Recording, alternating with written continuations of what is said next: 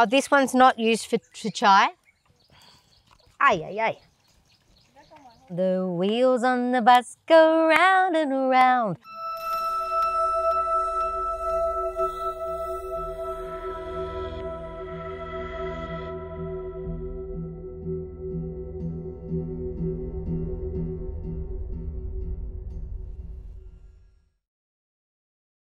Hello, beautiful humans. This is Minty D in Uganda, the pearl of Africa. Now, don't forget to like, comment, and subscribe to our channel, The Life. Now, on today's episode, I'm really excited to meet with a local woman called Lillian. Now, Lillian is living here in this hut. She's got three children. I'm looking forward to understanding how she lives her life, the challenges that she faces and to be doing that with her, to experience that together. So now we're gonna go say hello to Lillian, who's over there washing already at this time in the morning. It's very, very early. She's already hard at work. So let's go say hello and present her with this yummy pineapple that we can share together. Lillian! hey, hey, hey, hey, hey.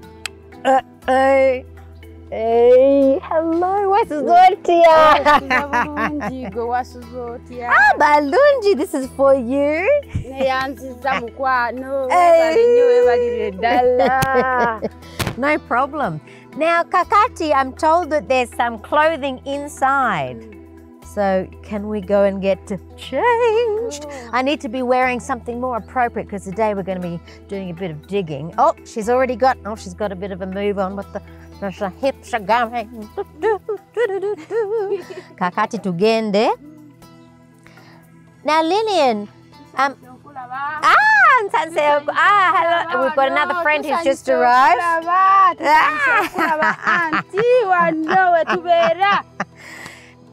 So I now have my outfit that the women would normally wear around this area, the local women, and I'm ready to get myself into work. I'm ready to help and contribute and understand what it is like to live this life that the local women around the Luwero district and other villages around Uganda live. I'm here. Let me help you. What can I do? So we've got our jerry can here. The jerry can she's already brought early this morning.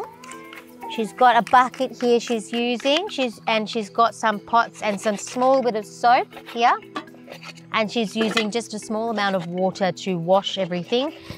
Here is the bucket of all the clean things ready to be dried. Ready to dry be dried by the sun basically. This one, I think, I'm not sure what we're going to use that one for. You let me help you. Yeah, you, yeah.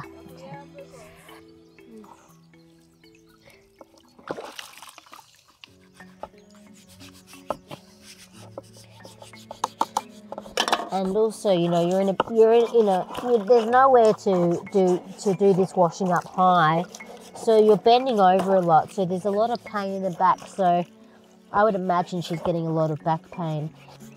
obuzibu bwensanga okuva ku makya. Ku makya nkeera nnyo nenjoza bino ebintu. Olumala nenfumbira abaana cyayi hmm. bwe mala okufumbira abaana cyayi neŋŋenda mu nnimiro.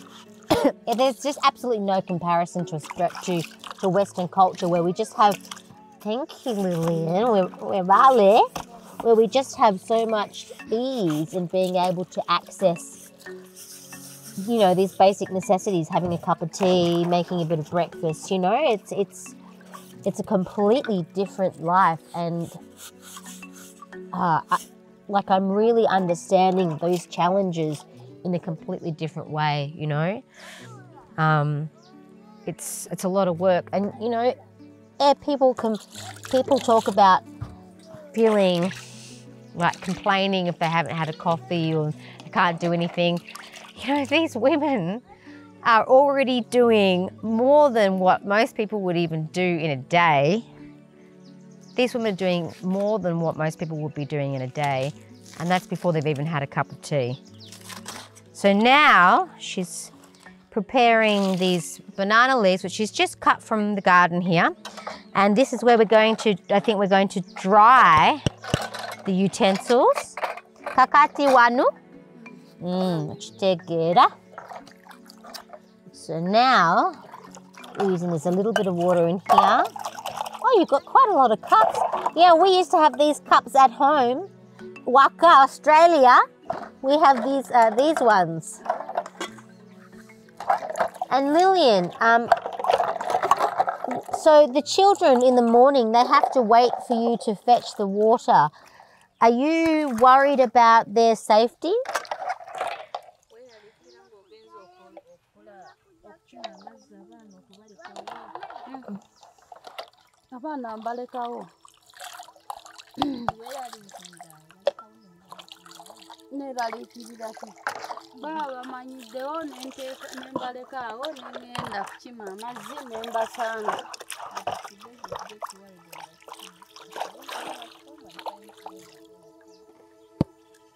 You're not so worried about them. So they so they seem to be pretty safe here. The, the the community is a really good community to look after one another and support one another. Okay, Lillian, I see that someone has been very kind and has given you a coal, little something here. So the beautiful thing about the community in general and at large in Uganda is that they really do help one another. So there's been times when Lillian has really, really struggled. I mean, it's a struggle to live every day. You never know when you're you're going to be facing challenges yourself. Oh, I see. We're now we're using. Oh, you've used some of the roof.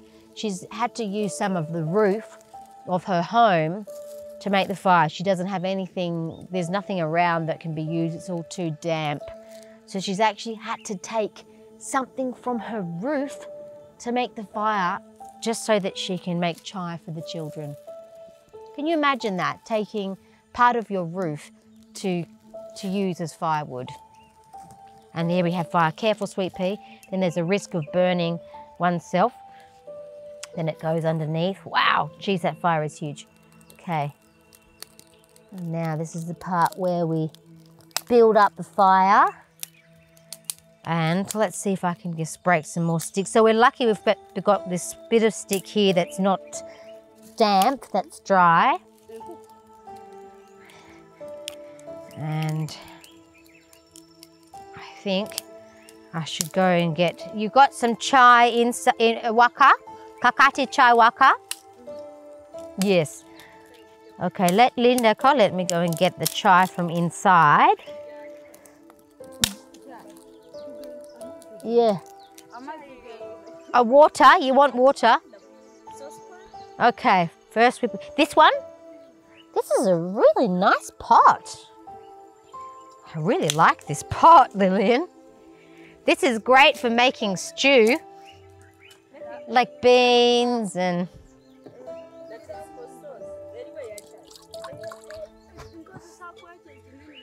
Oh, this one's not used for, for chai? No. Oh, it's looking pretty clean. Oh!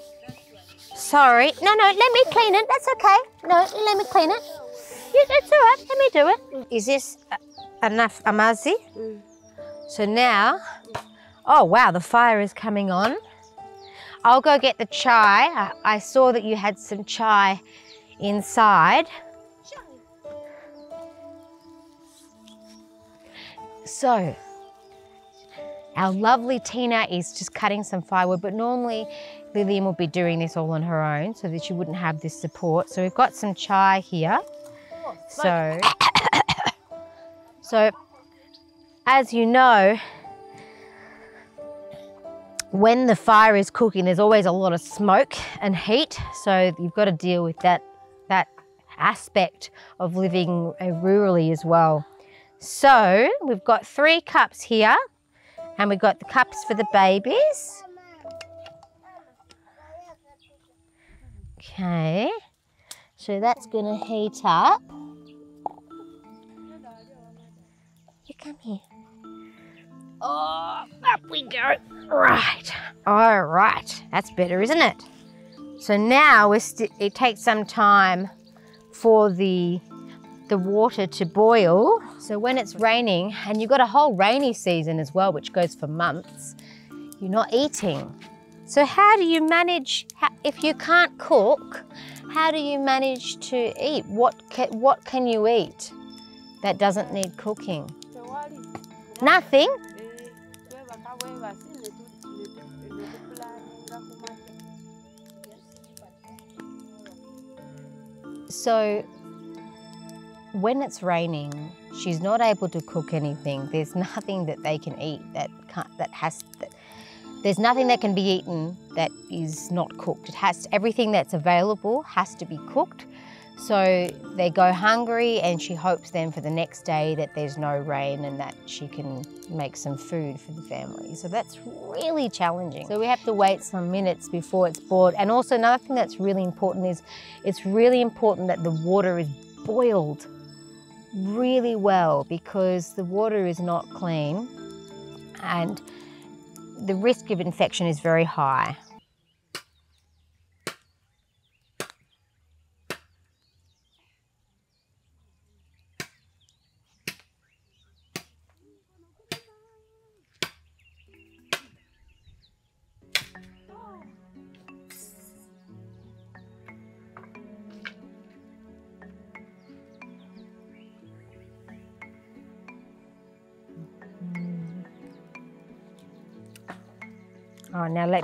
Lillian. Now I'm just keeping out little baby giving cuddles because he wasn't feeling great. I think he's very hungry. So let's pop you on here on the mat. Okay, Carly.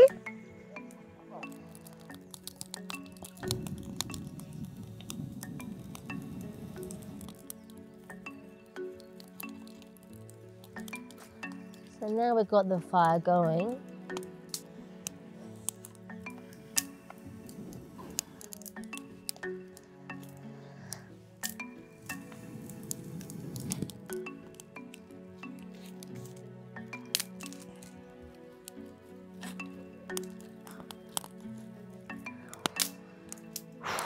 Yeah, it's a big process. She's trying to get wood from everywhere she can. She's pulling it from trees. She's trying to get it from the roof of the house. E- anywhere, everywhere she can find something to make the fire go.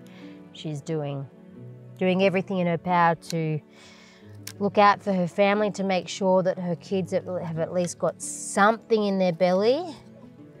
Ah, I mean, it's just, it is so hard.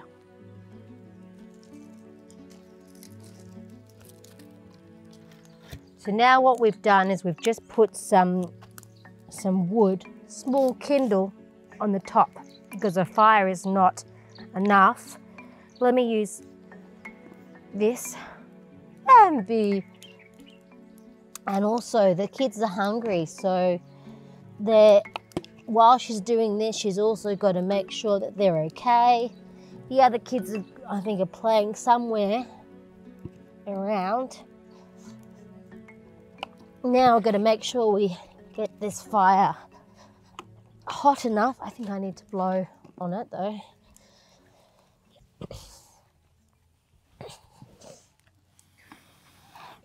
Oh, so much smoke. Whew. Ay, ay, ay.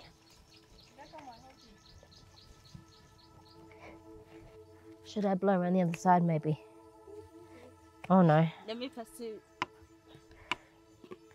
So it's very challenging seeing how trying to get just trying to get the fire going to get a bit of boiled water. Oh, there you go. Now we have.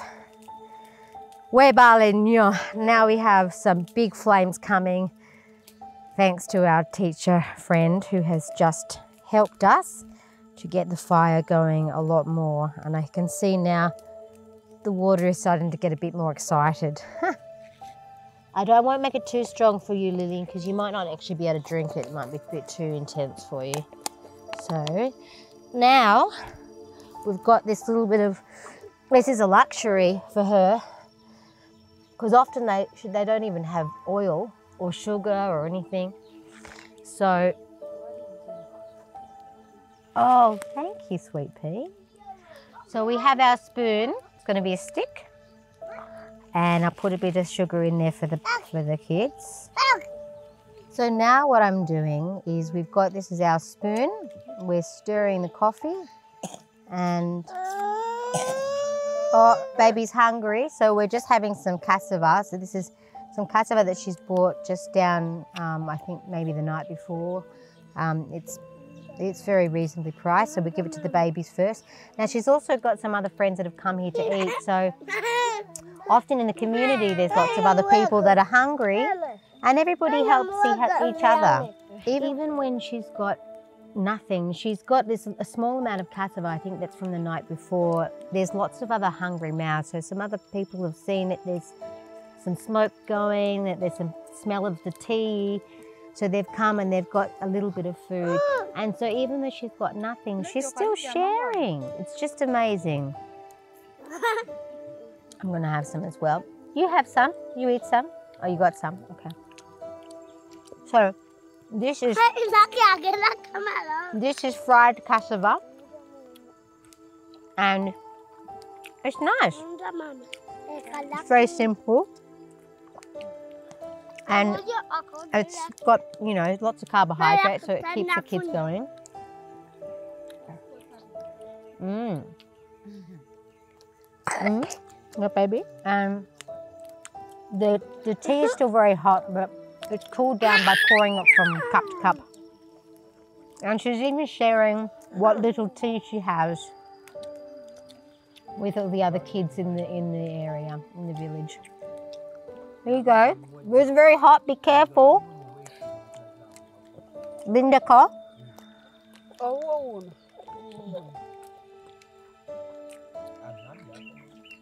So the mat is full.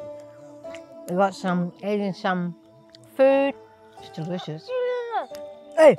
The wheels on the bus go round and round, round and round, round and round. The wheels on the bus go round and round all day long.